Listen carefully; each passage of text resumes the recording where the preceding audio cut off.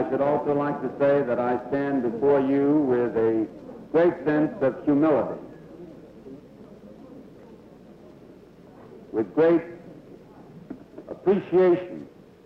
for the confidence of those who have voted for me,